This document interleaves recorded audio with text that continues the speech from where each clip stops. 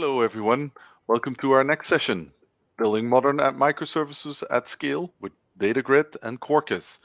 My name is Roel Hodzelmans. It's my pleasure to welcome you all and to introduce our speakers for today's session, and that's Shaaf Syed.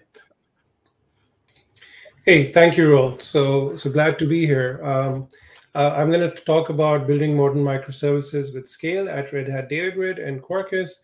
Uh, I'm going to deep dive into some of these things. So, welcome to the session. I hope you're excited and ready for uh, a quick presentation and a demonstration as well.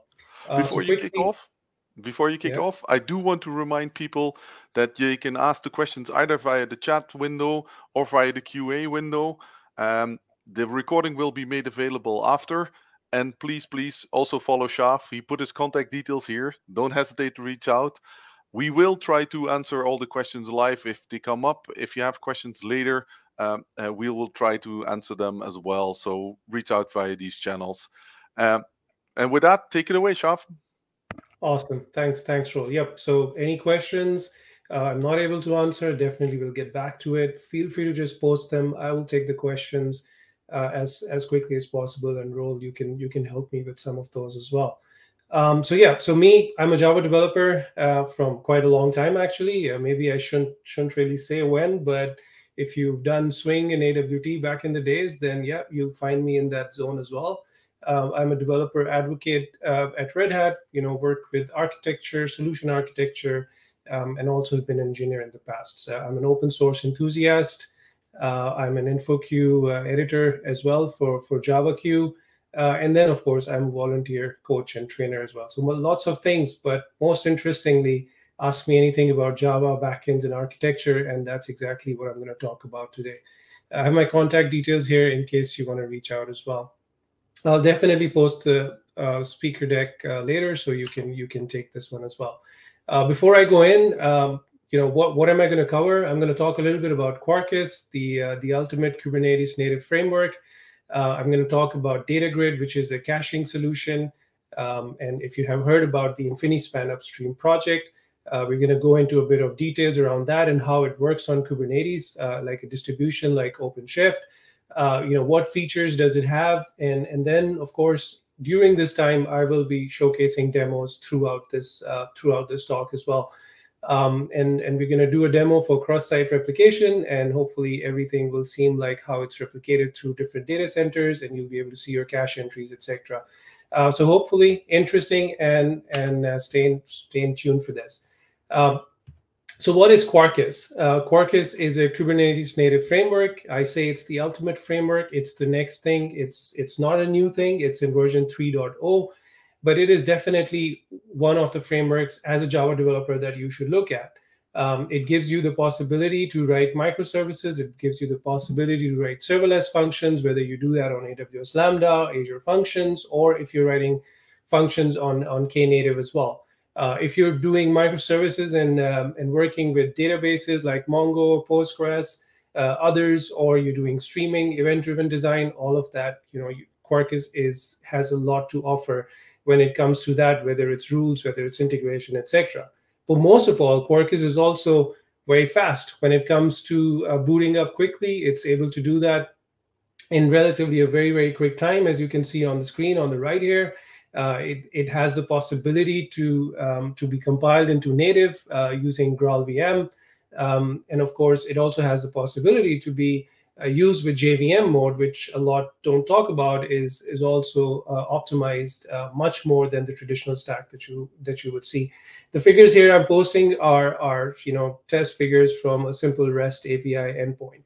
Uh, when we talk about memory, it also takes a lot lesser memory, as you see at the bottom of the screen. A traditional app would take a lot more memory, but uh, with Quarkus, um, with JVM mode, uh, you know, almost half of that, and then even native even further. I don't want to go into a lot more detail because there's a lot of other talks that are covering this uh, today. Uh, I think Kevin uh, showed something around Quarkus.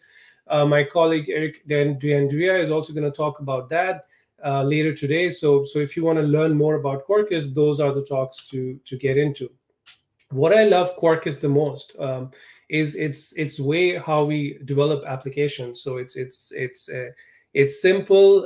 it it kind of goes into my workflow. I don't have to restart things. I can have test containers integrated really nicely.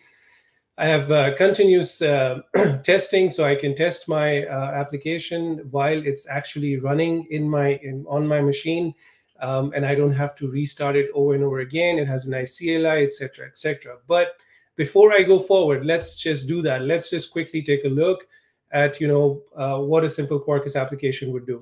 So here I have my uh, my console, and I hope you can see my console. If not, then Roel, you will just please tell me. Um, so i am just gonna I'm using Quarkus uh, CLI. So let's just say I'm using version uh, 3.1.1 final. So if you're using SDK Man or something similar, you can or you want to download Quarkus CLI directly from Quarkus.io, uh, you can do that too. What I will do now is, uh, of course, I'll create an app. I already have a demo one app because I tried this before. Um, and by doing that, I'm, I'm giving that uh, parameters to a Quarkus saying create an app, and it's called demo dash two, uh, and it should have a pa package called, let's say, demo dash two. So here we go. It's going to create a simple Maven project for me. Uh, if I go into my uh, app here, uh, it's it's a simple Maven pod project. It has source, etc. So let's take a look at that. Um, Yes, I'm gonna make this bigger so you can see it as well. And it has generated a project for me, which is a simple greeting resource project. Um, it has app properties, which are currently, uh, uh, there's nothing there. And then of course it creates some tests as well, right? Um, if I try to, and let's, let's talk about developer friendly or developer joy here. If I, if I just do a simple um, Quarkus dev um, over here, it's going to spin up uh, my local uh, Quarkus application, which is this one running. And I see that it, it gets a little slow, probably because I'm streaming out right now, but let's let's see that it that it goes fine. Um, it's going to spin up the project over here. Uh, you can see that the application has uh, started on localhost 8080. Uh, but also at the same time, you see that it has options like, hey, uh, there's tests. Uh, do you want to run tests? So if I press R, uh, it's gonna it's gonna run my test, and it says that everything is running and it's successful, right? So it's awesome. It's it's actually the app is running. If I go back to my um, to my console here, uh, to my browser, here's my app which is running. I have a hello endpoint, which is let's say hello from REST RESTEasy Reactive. Simple app, nothing nothing specific at this point.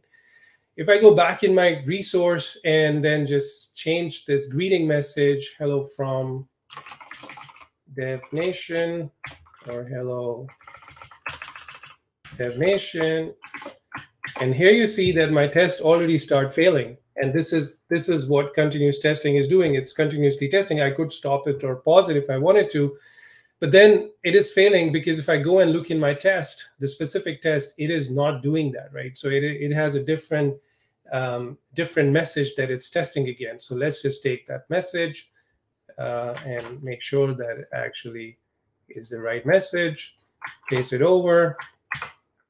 And now you'll see that, that it starts passing. And if I go back to my um, app here and do hello, then you see that it's it's simply changed and I don't need to restart my application or anything at all. Another thing that I could do now is while this is running, I could go in and add an extension. So here I'm gonna um, add an OpenShift extension. And an OpenShift extension, what it would do is that it's simply and and could yeah. you do me a small favor? It's really yes. very small, so could you boost it a little bit? Or maybe uh, choose the white background. Maybe that helps. But uh, the audience sorry, having some sorry, difficulty sorry. to to read with you. Okay, hang on a second. We are going to do that. This is just a this is a much smaller demo, so we're not going to take too much time on this. But yeah, so uh, in the backend, what's happened is that Quarkus has added um, the the extension into my uh, into my POM file, which is the OpenShift extension. If I see here, so now I have now I have a, I can actually deploy to my Kubernetes cluster, which is OpenShift, uh, once this extension is added. At this point, I haven't restarted the app. I have done nothing. uh, nothing of those sorts to do it. So um, what I'm going to do now is simply go and deploy this application to OpenShift. I could have done this from my uh, from my command line as well, but just to show you, we're going to do that later. Um, all the extensions that I have, this is the developer UI, which has all the details. I'm sure some of the other talks are going to go in more detail. But here I can say, okay, deploy my application to uh, to OpenShift, uh, ex, you know, accept untrusted certificate you, because my OpenShift environment has an untrusted certificate. Can you boost this as well a little bit because it's rather small still? Just a yeah. simple zoom in. What's going on? Hang on, it's not zooming in.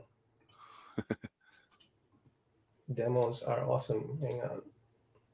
Why isn't it zooming in? Okay, there you go. Uh, that's much better. Thank you. Sorry about that. I somehow my computer keys are uh, saying, "Hey, don't do this anymore." so I don't no know worries. why. No worries. Um, At least the audience now can see. Thank you. Perfect. So here, of course, my application is being deployed on OpenShift. So where's my OpenShift cluster? Again, I probably need to zoom this in as well. Yes, please. Uh, sorry. There you go. So if I go into my uh, project, developer console, if this is my current project, demo two, um, and here my demo two app that was that was uh, that we were using is now deployed uh, onto OpenShift while we were fixing our zoom here. Uh, simple DevNation, of course, zoom in again. Hang on. There you go. See, that's that's deployed. So, so in simple terms, it's a simple framework that is Kubernetes native. It helps you to do that. And this is pretty much how much I'm going to show about that today, uh, since this is not a talk about uh, Quarkus. So, so bear with me. So, so good stuff. You know, it's a it's a great framework, and we're going to see a little bit more how it works with cache because if I if I provision or add a Postgres extension, it's going to do a test container at the backend as well. But I'll show some of that later. So what is Red Hat Data Grid? Red Hat Data Grid is an in-memory data grid that stores key values, right? Um, it, it, supports multiple uh, data types. It has a lifespan of your cache. So imagine that usually you would write the cache inside um, inside a map in your application. And once you do that, it's within your application. It's in the same memory. As a microservice, when you start to scale that or you have multiple microservices, all of the instances would start to store that map locally because they're all running in different JVMs.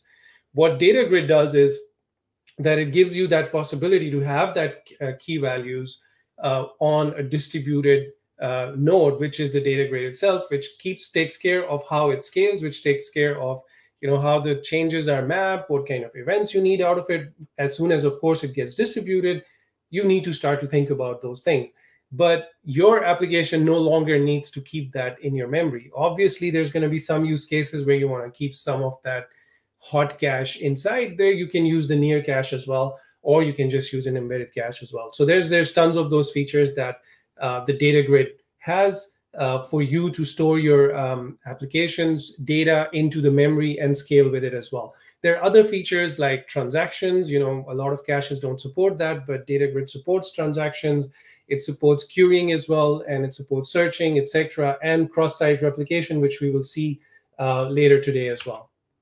The from the infra perspective, uh, you know, DataGrid is also pretty cool when it comes to how it scales out on a Kubernetes uh, environment. You have the data grid operator. Uh, the operator manages all the different aspects. For example, encryption.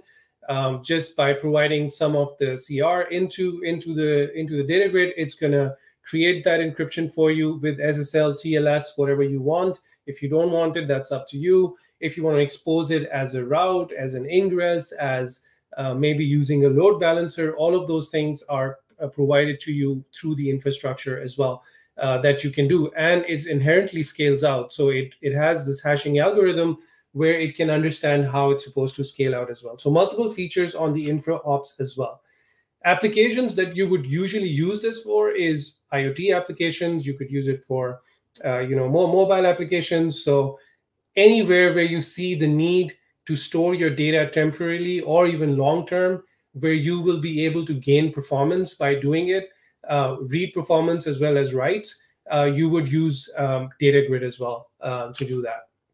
like I said, it's a key value store.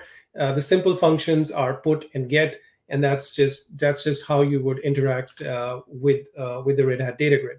When it comes to data types, it has scalar types, so you can use text, numeric, binary, any form. You can upload files into it if you wanted to. Uh, documents such as XML and JSON, you can put them in as well.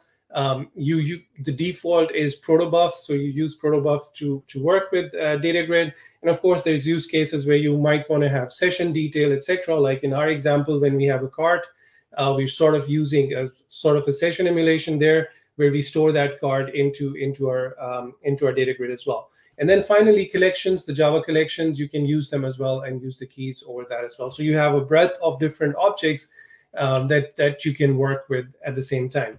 Another interesting thing that Red Hat Data Grid could do for you is, excuse me, um, it's going to be able to uh, give you events. So anytime uh, there's an update or or deletion or expiration um, or insertion, any of those events, Red Hat Data Grid is able to listen. The server is able to listen, and it's able to pass that on to your uh, to your application as well.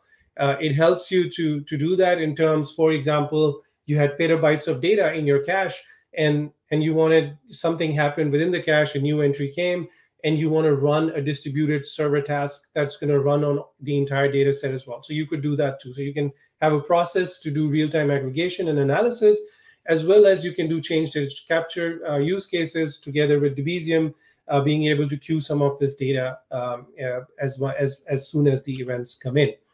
You have the possibility to do querying. So basically, uh, once your data is in there, you create a query, whether it's a simple query or Ickle query, and you're able to listen to that query as soon as that query changes. Uh, you will get notification of those events.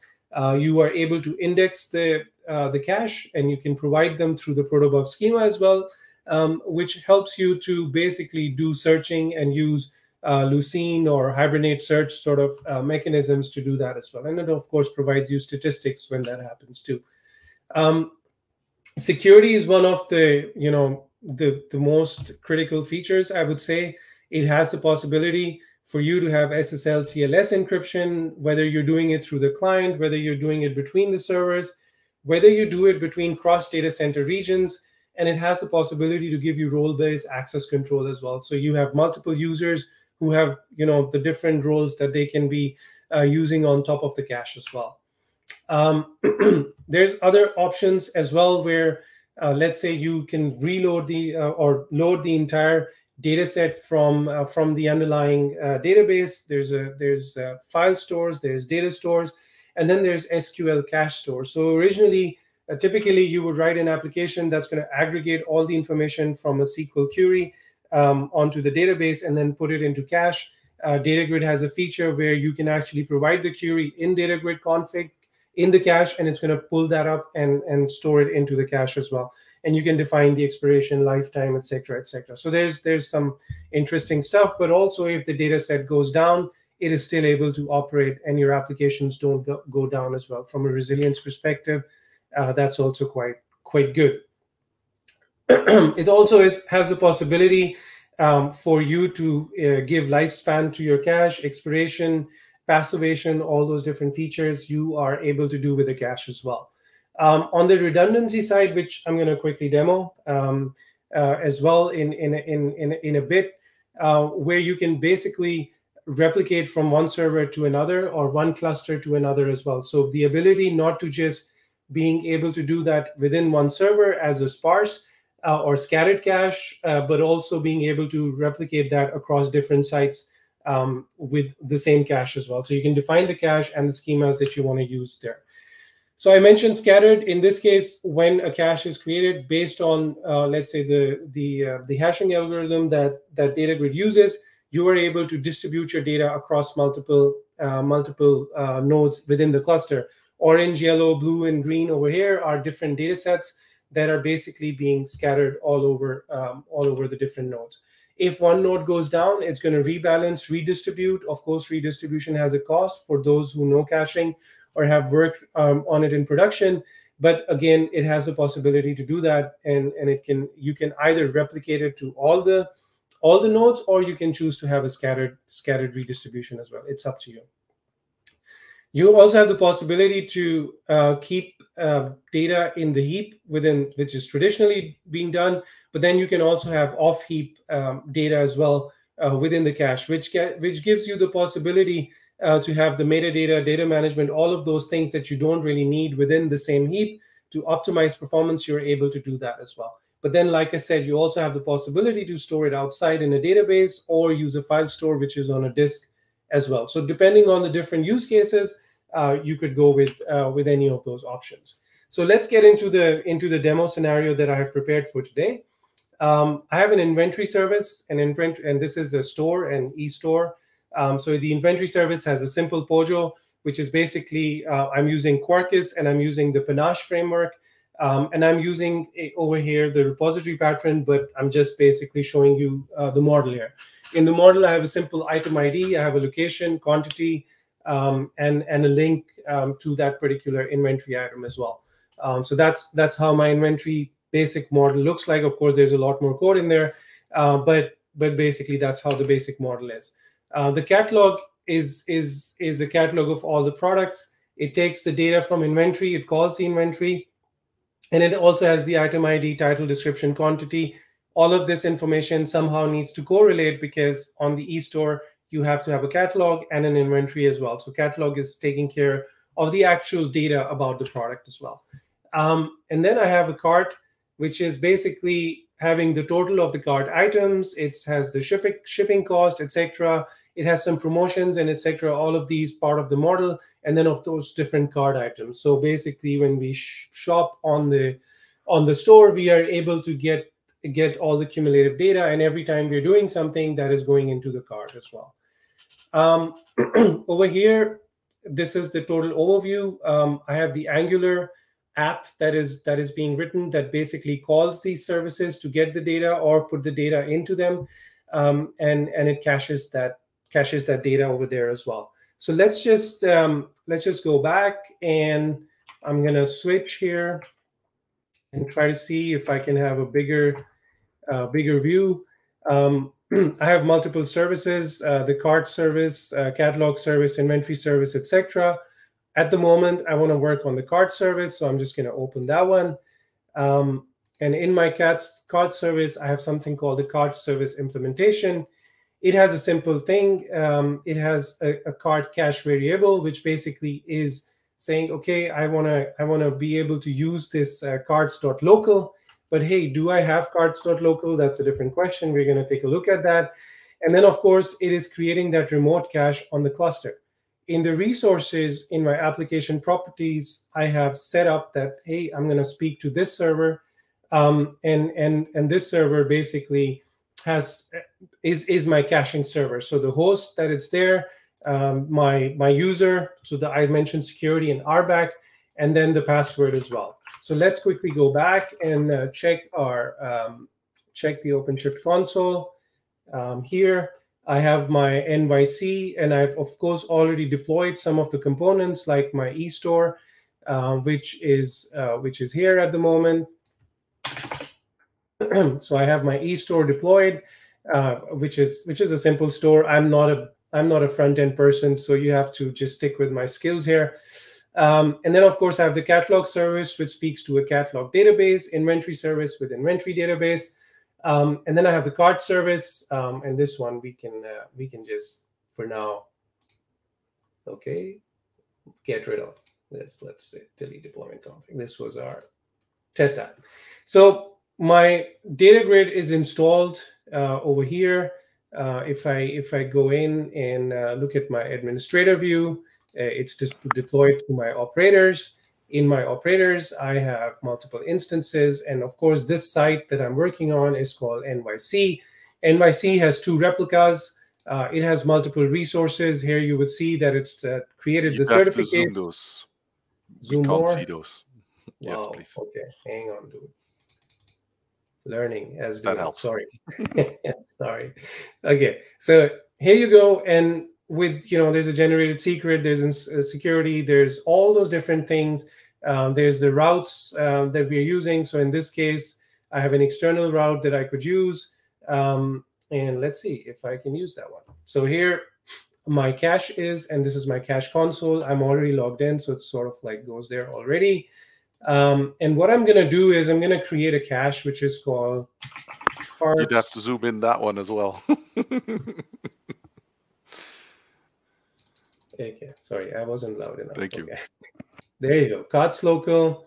Uh, it's distributed. It's it has a proto stream, etc. No capabilities. I could use multiple capabilities, but you know, we're just gonna show you a simple card here. Uh, does it have leaping um, uh, concurrency level? Uh, yeah, sure. We we could use that heap, and then of course next. Uh, and here I have my carts.local.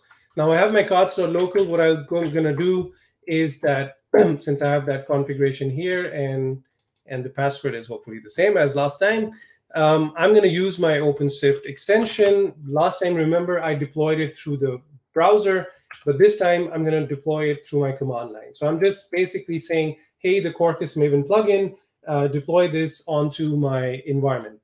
And it's going to basically just deploy, it's going to build this, it's going to create my jar file, and it's going to deploy this directly into my um, into my uh, namespace um, on Kubernetes. And now it starts with Sorry to sound like a broken record, but this could also do a small bump up in size. Okay, I'm moving from this screen. Hang on. Um, okay, so if I go back to my uh, developer uh, view here, and that's the thing. Okay, if I see my cards, uh, you can see that there's a build happening, build number 23. Uh, it's being deployed um, at the moment from my console. So push is successful. Seems like it's already deployed, which is great.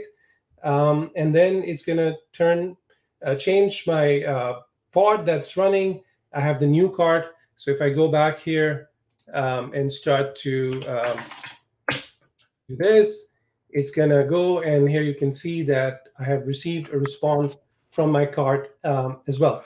Well, I am. If you increase the size. Yes, yes I just realized that again, and, and my sorry, this this is uh, my mistake, um, and it doesn't do that. But anyways, that's that's the that's the developer side. But we can go into uh, into the container. If you go into the cache container in cards local, I'm going to see that yes, my card is here. If I go back to my to my uh, store and I start adding, I will see that you know quickly that it has it's it's going to have the data uh, as well because it's been called there too. So this is awesome. I mean, it's rebalancing. It has a very basic config. It's just a simple cache that's living on one server. It has a matrix as well. But what I haven't showed you, and, and in respect of time, of course, I'm not going to create a whole cross-site as well again. But here you can see that I have a cluster membership. I have two, two nodes in my cluster, two replicas. But then if I go back here I also have another site which is called the London site. And in the London site, wow, okay. In the London site, if we, if I go there again, open console, uh, I have cards as well. And you can see that some of the data is already there. That's because I've sort of like tested this before. So what I'm going to do now is I'm going to change my cache to um, to cards instead which is a replicated cache, which will basically take all the data that we have on the NYC side and basically uh, also replicate it to the London side. So in case of we want to, we have a failback scenario or, or anything else, we would be able to do that too. So simple, at this point, I've done nothing about fallbacks and failovers. I have just simply uh, changed my uh, name of the cache. So I'm going to deploy this again and I'm going to move back quickly because I don't want you to have the small view of the debugger there. Um, I'm going to go back to NYC here. and on NYC, we will see that uh, our build is running, it's pending, and it's going to come up. Uh, and as soon as it comes up, uh, we will have a different cache, and that cache is going to be going to be starting to um, to replicate. If I go in, I can see um, the logs again that yes, it's being pushed, it's being built at the moment, it's creating the container, it's pushing my jar file, it's pushing the image into the registry. Awesome. Uh, it looks great. Uh, if I go back to my cart here, the new pod is already in place. Awesome. So now when I go back and I hit this, uh, I'm going to get a new um, new cart, and let's just say I'm going to add some stuff to it to see that it's actually it's actually working like we said. So this is our London site, uh, and this is our primary site, which is our New York site. If I look in the New York site, all those items have come into the cache. If I go into my um, uh, London site, I will see the same items are also have come into the site. So When that's awesome. zoom I mean, absolutely. yes, yes. Oh, zooms in. Yes, perfect. So Thank you. so here you can see that that it all that, that it has that as well. So now just to just to make things a bit little, little bit more fun, um, and bear with me here, I'm gonna basically what I'm gonna do is I'm gonna intro it, try a fallback because what you want to do is that sure you have a New York site, but you also want a London site, and what you want to do is that um, if if the New York site was failing, you are also able to uh, fall back and and maybe write the data to um, uh, to the London site because that's exactly uh, what you might need in in um, in a in a production environment. So we're going to do that again. I I changed some code and I went blazing fast, but basically I'm using the SmallRye um, a failover extension. Um, and I'm using the fallback methods, basically saying that, hey, do this randomly fallback every time you call the cart. And once you do that, there's a fallback service that I have defined, which is the cart's backup service as well. So it's going to do that too. So I'm going to deploy this and hopefully this will work. Um, and it's deploying. And the same message that we see um, uh, when it's being pushed on OpenShift, we basically see the same same log console here that it's built on OpenJDK 17. It's a particular image stream which are which we're using on OpenShift. OpenShift has this concept of image streams where you can define a certain image stream with a container and you can pass on your binary into it. So it's going to create that container um, from the source that we are pushing in, and then of course um, push it into the um, into the image registry as well. So now if I go back here to my um, to my OpenShift console and um, my app is is is running. I think this is the new one, right? 44. Yes, um, it's up. Um, we okay. What did we? Yes, perfect. So it was 45, not 44. Almost scared me. But now when I go back to my home and uh, and start to add stuff, um, I'm just gonna make a couple of calls. Uh, and if I go back here, I see that uh, I have done something wrong. Hang on, I have. Okay, so it's supposed to fall back, and it's gonna fall back nicely, but of course I've done something wrong. We have two minutes left, and let me just quickly see here. And I think it's also a good time to take questions because uh, we're almost out of time. Well, at the moment, uh, the audience has, has not yet asked, asked the question, so you can use some of your time to um, to uh, take some more time to explain stuff. So all good. Yes. Okay. Awesome. So what I'll do is, so what we've what we've seen so far, of course, Ah, is wait. that There's one question coming in. Thank you, Naveen. Uh, he asked, uh, or she, uh, I'm sorry, I'm not completely aware. Is the cache two-way replicated when NYC is back online and we move back from London to NYC? Will we get the data back in New York as well?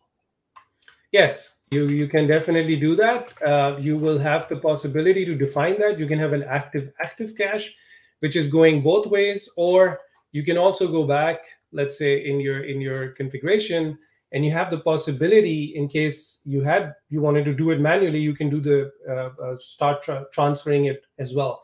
You can also take it offline um, to do that if you wanted to. So yes, there's a possibility to do that. You have the opportunity to uh, define the topology that you want to use um, and and the, and the rules that you want to use for it as well. Yes. Cheers. Awesome. So so what what we've done so far, we use an active active setup. We we're able to cache that card into it, but I, I strongly recommend that you go ahead and look at the Red Hat Data Grid in more detail. This was a teaser, of course. It has a lot of different features when it comes to monitoring, observability, and the operator experience as well, uh, where we're able to use that natively onto on top of Kubernetes. Uh, but I also understand that a lot of you might actually be using um, a, a Redis uh, caching solution as well. And in that case, uh, the data grid also have a tech preview at this moment where you can use the RESP3 protocol. If you this means that if you have a Redis client, uh, you would be able to connect to the data grid without even knowing that's actually a data grid behind you uh, working. So from the operational experience, you will still have data grid. From the client experience, you'd be able to use Redis. So in case you want to move, uh, you don't need to worry too much about um, the basic uh, Redis protocol there as well. Uh, in terms of, of course, not the administrative ones, but general data sets, etc. All of that should work. Um, and then again, of course, thank you for listening. Um, I have my details here and, and happy to engage and take your questions if there are any at this point. So Kihoro asked, um, uh, so um, they joined a little bit late. How does Quarkus help to, to deploy to a cluster uh, from a cache cluster? I think it doesn't really matter that it's Quarkus, right? That you can do it from any application. Well, Quarkus is yeah, you could do it from Quarkus, but Quarkus definitely helps you because uh, with with Quarkus, if you look at my uh, model here, I have different options. Well, this is commented here, but I can write the cache directly into my system. Um, I have created the cache before, but then let's say my um, cache schema, my proto schema is is also created just by the annotations here, which means that if I go back um, into my into my carts, uh, into my data container here, I see the schema that was created. This was created by the Quarkus app when I loaded my Quarkus app as well. Um, when it comes to simple things like um, if I said over here mvn Quarkus colon dev, um, what this is going to do, uh, hopefully, uh, we'll probably throw some exceptions because I'm connected to the uh, to, to the other props. But basically, what this will do is that it will, from dev services, um, also going to spin up uh, a, a, local data grid cluster as well. So if I if I went here in my